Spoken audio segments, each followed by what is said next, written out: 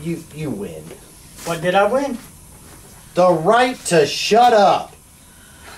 I may have the right, but I don't have the ability.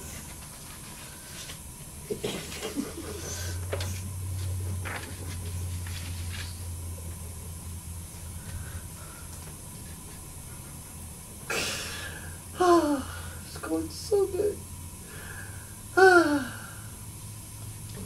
Yes, it is. If you go too fast, you get a ticket. And as it turns out, in my case, if you go too slow, you get a ticket. You give a whole new meaning to the term ticket to ride.